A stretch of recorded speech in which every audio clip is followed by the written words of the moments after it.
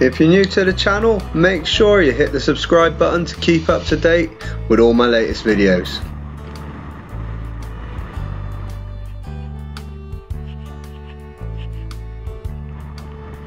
Hi guys, welcome to Life with Gaz. In this week's episode we're going to do something slightly different. Instead of fishing, we're going to go out and do a bit of beach foraging, see what we can find and see what we can make out of it. Now, the reason for this is because the weather is just too bad to fish off the beach. It's blowing in at 70 mile an hour this week. The lowest it's going is down to about 50 mile an hour, which for my days off is no good for fishing. Combine that with the fact that we've got absolutely huge spring tides at the moment and um, these are going to obviously just make that sea even more treacherous to fish. Now, to be fair, foraging on the beach in this weather can be dangerous, so make sure you sort of stay safe if you do go out and do this because it's quite easy to get cut off, especially when the wind's coming in westerly on this coast because the tide absolutely flies in. So you've got to be aware of your tide times, when your tides are turning, and all the gullies and everything behind you. And don't take any chances and leave as soon as you think you should instead of carrying on for that extra 10 minutes. But let's have a quick look at what the sea's looking like today and then we'll go down to the beach tonight and see what we can find. So this is a sea about 20 minutes before high tide. You can see how far out the white tops are going, pretty much all the way out to the horizon you can see them. Now these waves, they've got a wave height of just under 5 metres. Obviously this means that they're going to be bouncing over the walls and this bit which I'm at at the moment is a lot higher than the area which I normally fish and you can see the waves are easily making their way over the top of it. And looking round at the pier you can also see that the waves are actually um, have a fairly significant impact on that pier with the height of them as well.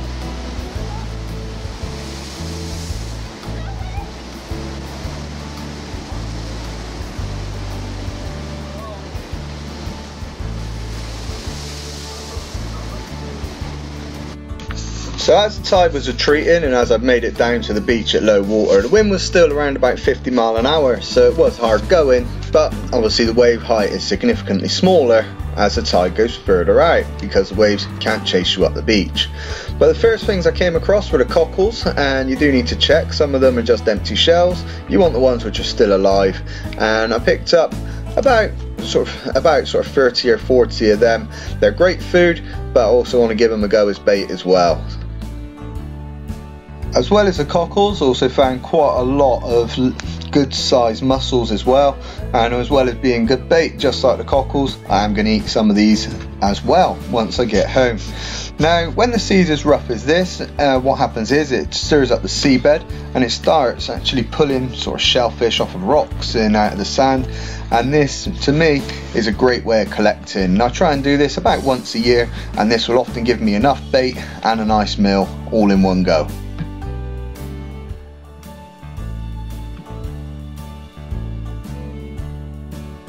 Another shellfish I like to collect both as bait and as food are these little clams as well. Now these little clams when you cook them end up just like a cockle in appearance and are just as tasty as well.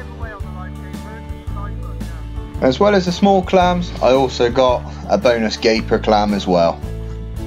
And now for the real reason I'm down here is the live razor shells. Now these get washed out of their burrows and the telltale giveaway is the fact that their foot will be poking out the end of the shell so you can often spot these guys when they're in the water. But once you get your eye in and you're walking along you can then pick them up uh, from either the water's edge or just into those waves as you move down the beach. Now with all shellfish, just like with the marine fish that we catch, they've all got size limits. So make sure you go and check out those size limits on British Sea Fishing or any other website with shellfish collection to see all your legal rules and regulations.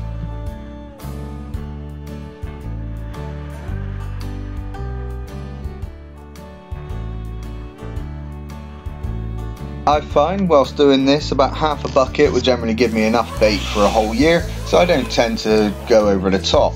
But once I've finished collecting then I'll have a quick measure of all of them, put back any which are too small and then take them home and then sort them into what I want for food and what I want to use for bait.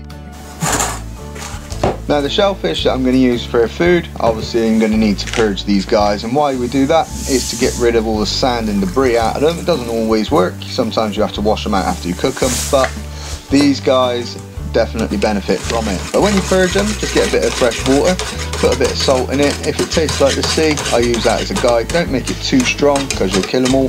Don't make it too weak, equally you'll kill them all as well. But this will stop you having mouthfuls of grit. And of course, if all your salt's not dissolved within a couple of seconds after stirring, then you're definitely too strong.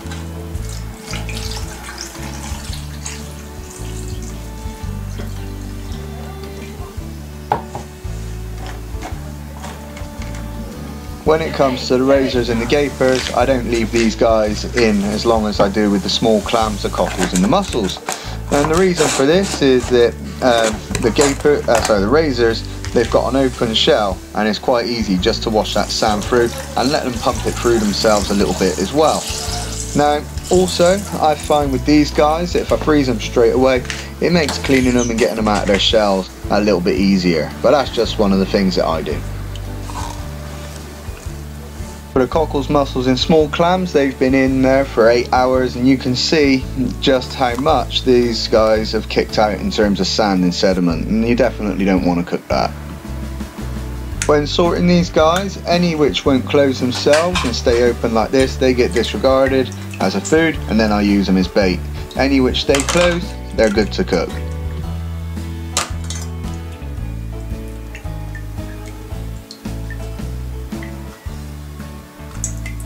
So right, let's start with dinner and today what I'm going to be doing is making a shellfish paella and I'm going to start off by getting a white onion and as I'm only cooking for myself because no one else in my family eats this sort of stuff what I'm going to do is just use half an onion this time. I'm going to chop that up into fine slices and then I'm also going to chop up a little bit of chorizo as well to go in there and start adding the depth for that flavour.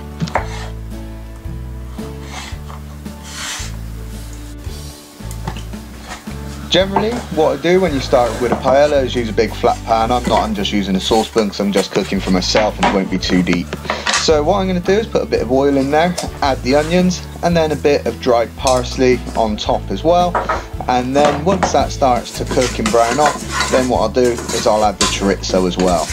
Now once the chorizo and the parsley onions are all cooking, what I'll do is start prepping the razor clams and the gaper clam and then what I'll do is I'll bring it all back to the heat and then carry on adding ingredients as I go.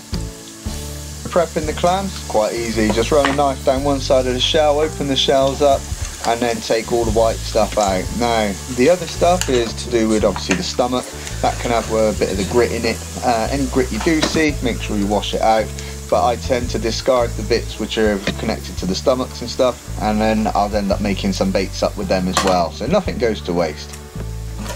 And I also remove the skin off of the siphon of the gaper clam as well. Once all the prep on these guys are done in terms of removing them from the shells then I'll chop them up into the size chunks that I want for the meal and then just leave them on the chopping board because it's only going to be about 10-15 minutes before these guys are going in the pot. So the next step really is to really get this paella going. So what I'm going to do is add a bit of arborio rice to it. Now arborio is not like basmati rice, it's a bit of a round grain rice. And I'm going to give that a little bit of a stir in, let it start taking on some of those flavours. And to that as well, I'm also going to add a handful or so of frozen peas as well.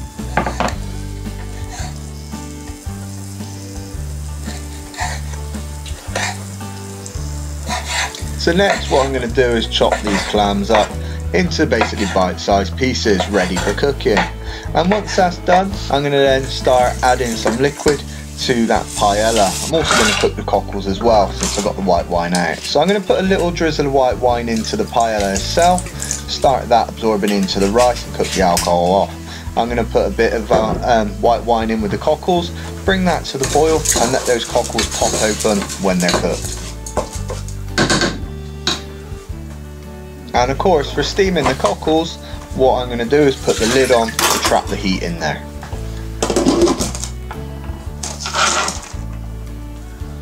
Steaming the cockles only takes really around about sort of four or five minutes and any that don't open just disregard, they're not good to eat.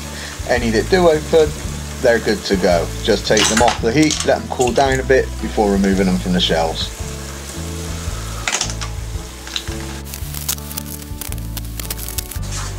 Now once the cockles were done, then I added some water, a little bit of saffron, and then also added the other clams as well.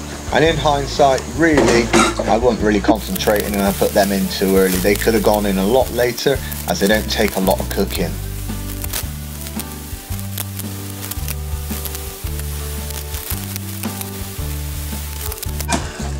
Now it's important that you only add a little bit of water at a time if you're unsure on your water amount because you don't want to oversaturate that rice. But when the rice is nearly cooked and I put that last little bit of water in, that's when I add the mussels and then I'll put a lid on and steam them very similar to the cockles. Once they open up, then I'll take the lid off and I'll continue to take the liquid out of that by just letting it evaporate through steam and then that paella is pretty much done.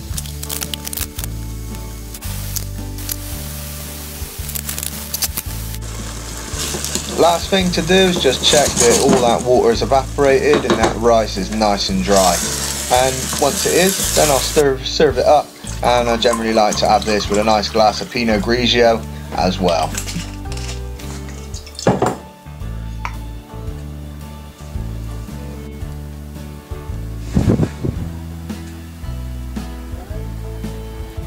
Well there you have it guys, that is a seafood paella straight from Blackpool Beach. Now it's time for that all important taste test. Let's see if I can find a nice bit of shellfish to go in there. I think I've got a bit of gaper razor and I think I've got a cockle as well. And that is absolutely fantastic, can't beat fresh. If you've enjoyed this video, make sure you like it. Make sure you hit the subscribe button just down here. Check out my latest fishing video there my playlist up top, my cooking playlist over here, and of course, enjoy your meal.